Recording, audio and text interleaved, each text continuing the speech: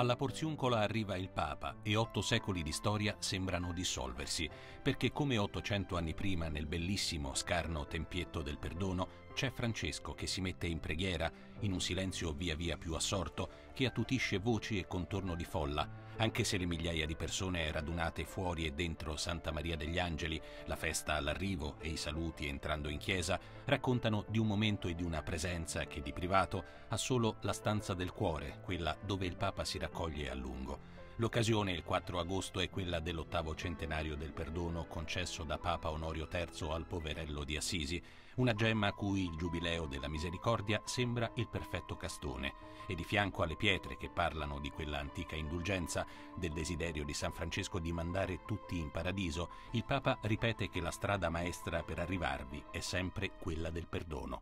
È difficile perdonare, eh? Quanto costa a noi perdonare gli altri? Pensiamoci un po'. E qui alla Porziuncula tutto parla di perdono. Che grande regalo ci ha fatto il Signore insegnandoci a perdonare, o almeno avere la voglia di perdonare, per farci toccare con mano la misericordia del Padre. La parabola del Vangelo, letta in precedenza, è quella dei due debitori, del primo che riceve dal padrone il condono per una somma ingente e che poco dopo si accanisce sull'altro in modo spietato per pochi spiccioli.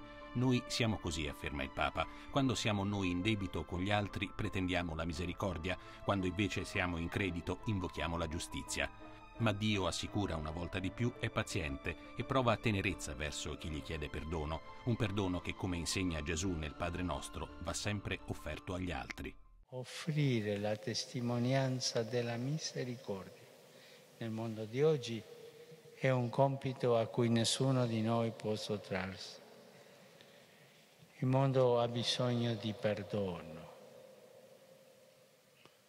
Troppe persone vivono rinchiuse nel rancore e covano odio perché incapaci di perdono, rovinando la vita propria e altrui piuttosto che trovare la gioia della serenità e della pace.